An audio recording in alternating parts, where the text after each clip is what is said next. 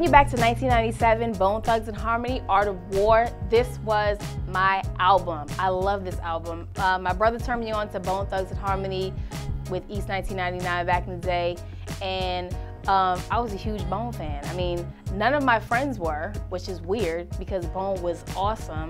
But yeah, I was like the sixth member of Bone Thugs and Harmony, Redbone right here. Yeah.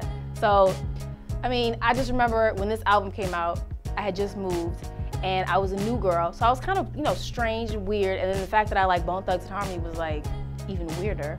I knew every song on this album, and it was it was a double, you know, double CD, and I only listened to the first CD because I didn't know my brother had taken the second CD, and I don't know, I didn't listen to it. So only recently have I discovered that there was another CD, and I'm, you know, learning those songs, and I, you know, we can battle anytime you want because I can rap just as fast as Wish and Layzie and Krayzie.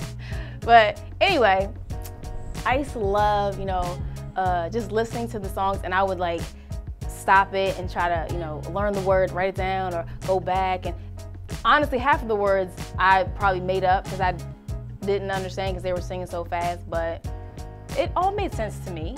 And, and, I never knew until recently, I did some research on them, that they were like really successful. They were the only group that did, not successful, but like popular. Because we're, my friends, they didn't, nobody listened to Bone Thugs and Harmony. I was like the weirdo to listen to them.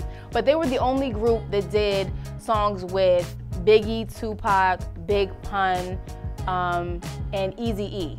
That's the only group that did cameos with them. So that's just, you know, sets them apart right there. But yeah, Bone Thugs and Harmony, Art of War. Um, some of my favorite tracks that I remember were um, Clog Up Your Mind, Sit Back and Let This Thug clog up your mind. Yeah, uh, it's all real.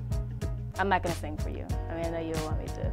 And Ready for War. Ready for War was a response to all of the uh, allegations that they had stolen their rap style from other rappers. Um, like 3 6 Mafia was a group that was saying that they stole their you know, style from them. And I love 3 6 Mafia, but Bone came first, all right?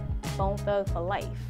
Anyway, Mo Thug, um, that's my classic review. And check out Art of War, both CDs, because I'm like going back and listening to the second CD. Bye.